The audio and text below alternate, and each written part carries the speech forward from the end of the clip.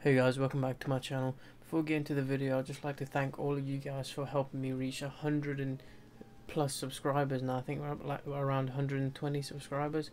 Um, last time I uploaded a video, I was like on like 60 or 70. I know it's been like two or three weeks or something, but um, I was having issues with uh, accessing Premiere Pro and Photoshop or whatever, so I couldn't edit my videos or edit my thumbnails. But I'm back now. I'm going to be uploading more regularly and such. So um, stay tuned for more videos. And yeah, I appreciate the support. And let's get straight to the video.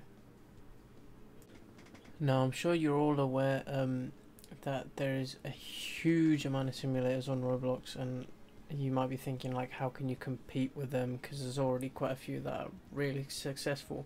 But you always seem to find certain simulators that blow up anyways, even though there is a lot of competition in this kind of genre in Roblox. And um, I'm going to get into how a few steps of, on how you can perhaps push yourself in, maybe hit front page if you're lucky, um, but create like a semi-successful game in a, on the minimum. Like it may not, you know, blow up to front page. Like for example, like a game like Bubblegum Simulator or something, which has been on front page for a long time, but it will still get a lot further than um, your average simulator game. Okay, so the first thing I'd recommend is um, figure out figuring out what kind of simulator you want to make. So there's obviously like there's driving simulators, you know, there's yeah the weightlifting simulator, all that. I mean garbage, which you really just click and then you gain points or something. It's really boring.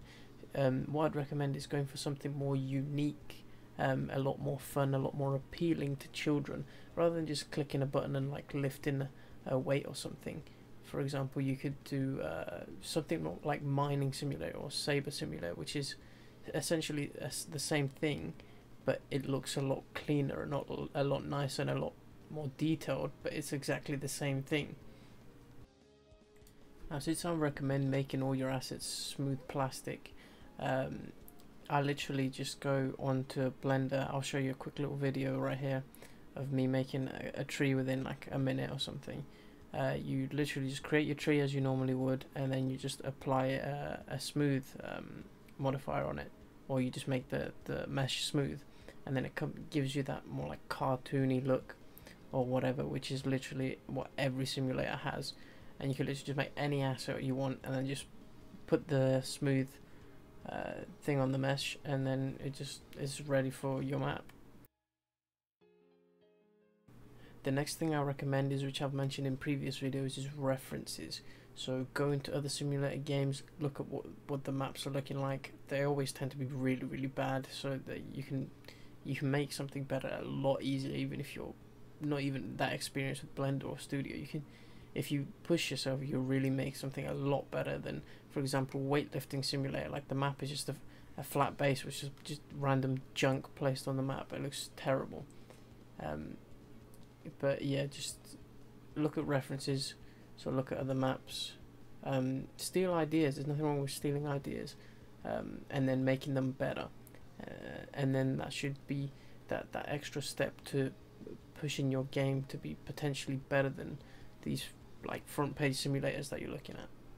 In terms of UI, I know a lot of simulators are like very like highly UI based. So there's a, loads of UI um, that just floods the screen, but people tend to pay quite a lot just to hire a, a UI designer, and then I've had issues in the past where I end up paying this the uh, UI designer for all these different like UIs for like inventories, all that kind of stuff, and then they end up looking garbage, and I hate them, but I have to use them because I've spent that money on them. However, people are tend to use um, the Unity Asset Store, which is not known by a lot of people in the uh, Roblox community, but you can literally buy uh, like a huge like UI pack full of buttons, all that kind of stuff, for literally like 10 10 pounds or like fifteen dollars or something like that. And it's a complete set of UI, so you don't have to do anything. You may want to hire like a, a script or a UI designer to help you like um, make them like fix up the uh, health bars and stuff like that, so they match. But this saves you a, a huge amount of time a huge amount of money and a huge amount of effort um, and makes your game look a lot nicer because these are like professionally made uh, UIs for like real games outside of Roblox. Okay, so to finish off with this video, last thing I'm going to tell you is um, fill your game with microtransactions. So like, um, you know, times to money, all that kind of stuff. Just fill it as much as you can, because at the end of the day, you're not um, you're not affecting anyone if you just like have a little shop button on the side, and it increases your chance of people buying it. And the whole idea of you know having a successful game is that you profit from it. Because if you don't profit, then you're essentially wasting time, wasting money, and all that kind of stuff. Unless you're doing it for a learning experience, then that's completely fine. But if you're willing to profit from it, um, flood your game with uh, microtransactions, and make sure to um, uh, have events. So during Halloween, all that kind of stuff, do do special crates or whatever. Because I created a simulator a long time ago, and uh, it didn't profit at all. It was doing really bad, and then uh, we released a Halloween crate um, for uh, like a week or or something, and it, it made like 150,000 robux just on its own, and it literally like tripled the the amount we were making after that.